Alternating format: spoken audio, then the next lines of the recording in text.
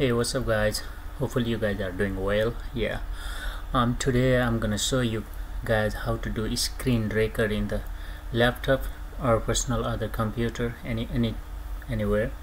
Just like i'm trying to show you guys here how to do screen record on the windows or i can show you here by the macbook or linux where what kind of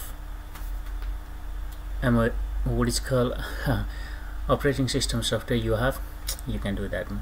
Among them that as my experience here are lots of you know applications but the, among them that screen is my best one which is very easy and super super super easy to use and then lots of different or varieties of the features available on that application. So you can see here all these things before you go to the download you can see there uh, what purpose you are trying to download this one. Like this is for Windows or MacBook or what it's called Linux.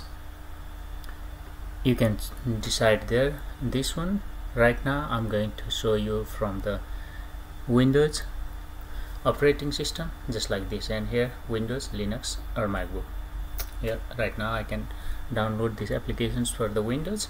When you click in the do uh, download you can see the progress bar of the download anywhere in your computer and then click on there. That's already downloaded over there.